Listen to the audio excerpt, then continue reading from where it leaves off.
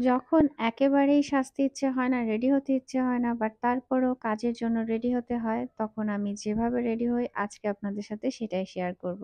কোনো রকম heavy makeup ছাড়া যেভাবে রেডি হই আজকে সেটাই আপনাদেরকে দেখাবো। তো আজকে পরবো হচ্ছে এই সুন্দর সিল্ক কাতান শাড়িটা। এত, এত রিজনেবল প্রাইসে এত সুন্দর মিনাকারি কাতান আমার আগে দেখা হয়নি। আর সুন্দর এই শাড়িটা আপনারা পেয়ে যাবেন তাহা পেইজে। এছাড়াও এই সুন্দর শাড়ি কিন্তু আরও অনেকগুলো কালার আছে, সেগুলো দেখতে অবশ্যই পেজটায় ভিজিট করতে হবে।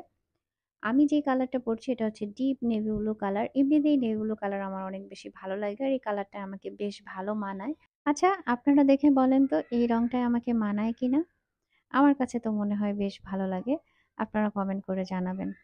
তো চলে এসেছি একদম হাত মুখ ধুয়ে ফ্রেশ হয়ে, এখন কীভাবে রেডি হই সেটাই আপনাদের সাথে শেয়ার করার পালা। তো প্রথমেই মুখে একটু ময়শ্চারাইজার ক্রিম লাগিয়ে নিলাম। আর আমার চেহারা দেখেই বুঝতেছেন, আমার একদমই আজকে রেডি হওয়ার ইচ্ছে নাই বাট তারপরে রেডি হতে হচ্ছে। জোর করে আর কি এরপরে হচ্ছে আমি এখানে আইব্রোটা হালকা করে একটু এঁকে নেই। দেখা যায় যে আর কোনো কিছু করি না করি বাট আইব্রোটা একটু এঁকে নেই। আর আইব্রোটা আঁকা থাকলে না দেখবেন চেহারার শেপটাই সুন্দর চলে আসে।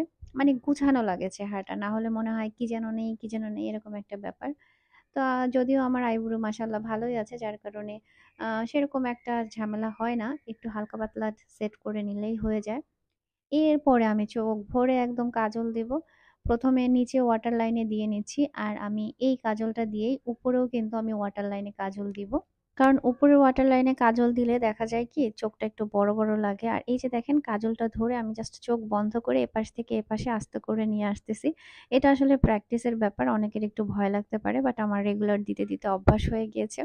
আর আমি এই কাজলটাই বেশি দেখা যায় এখন ইউজ করি, কারণ অনেক দামি দামি কাজল ইউজ করেছি বাট এইটার মতো সার্ভিস কোনোটাই পাইনি। সেই জন্য এখন এই ছোট্ট কাজলটাই বেশি ইউজ করা হয়। আর এরপর একটু লিপস্টিক দিয়ে নেব। আর সাজার সময় দেখা যায় কি, চেহারার যে কত রকমের মানে আকার আকৃতি করা হয়, পরে দেখলে যে নিজেরই হাসি পায় যে মুখ একবার বাঁকা, একবার সোজা, একবার হা করা, এই হচ্ছে অবস্থা। আর এটা হচ্ছে নোট পিঙ্ক টাইপের একটা লিপস্টিক অনেকটা ম্যাট একেবারে ফুল ম্যাট বলা যাবে না। ফুল ম্যাট লিপস্টিক আমি বেশি দিয়ে রাখতে পারি না, কারণ আমার ঠোঁট খুবই ড্রাই তো আমি সেই লিপস্টিকটা দিয়েই আমি হচ্ছে গিয়ে একটু ব্লাশের কাজ করে নিচ্ছি। এইটাই হচ্ছে আমার ম্যাক্সিমাম টাইমের শর্টকাট সাজগোজ। কারণ আমি হেভি মেকআপ এখন একদমই করি না। কেন যেন মেকআপের প্রতি সেই ভালো লাগাটা কমে গিয়েছে। এখন মেকআপ দেখলেই মনে হয় আর্টিফিশিয়াল ন্যাচারাল কোনো বিষয় না। যাই হোক, আমি এখানে আপনাদের শাড়ি দেখাচ্ছিলাম। শাড়ির আঁচলে খুব সুন্দর টার্সেল করা আর শাড়িটার মধ্যে কিন্তু বেশ কয়েকটা কালারের মিনাকারি করা আছে। শাড়ির সাথে আমি ম্যাচ করে সুন্দর একটা কুন্দনের জুয়েলারি পরে নিচ্ছি। এটাও কিন্তু আপনারা তাহা পেজে পেয়ে যাবেন। জুয়েলারিটা কিন্তু ড্রেসের সাথে অথবা শাড়ির সাথে যে কোনো কিছুর সাথে খুব সুন্দরভাবে মানিয়ে যায়। খুব সুন্দর সিম্পল একটা জুয়েলারি তো সেটা পরে নিলাম। এখন ভাবছিলাম চুলগুলো কি করব? চুলের অবস্থাও খুব বাজে হয়ে আছে যে চুল ঠিক করব কি করব না করতে করতে আমি আর চুল কিছুই করিনি।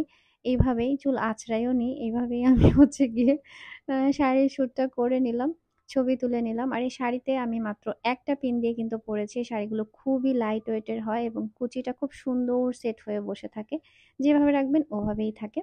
ফাইনালি সব কিছু মিলিয়ে শাড়িতে কেমন লাগছে কমেন্ট করে জানাতে ভুলবেন না। আর শাড়ির অন্যান্য কালারগুলো দেখতে অথবা অর্ডার করতে আপনারা তাহা পেজে নক দিয়ে দিবেন অথবা অথবা বিজনেস হোয়াটসঅ্যাপ নাম্বারেও আপনারা নক করতে পারেন। তো আজকের মতো বিদায় নিচ্ছি। সবাই ভালো থাকবেন। টাটা!